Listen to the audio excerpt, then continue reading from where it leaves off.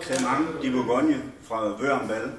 Top øh, uh, cremanthus. Det største cremanthus i Bourgogne, faktisk hele Frankrig. Jeg har simpelthen taget den her luksus og købt en hel masse hjem for at få den ned i en øh, vanvittig pris.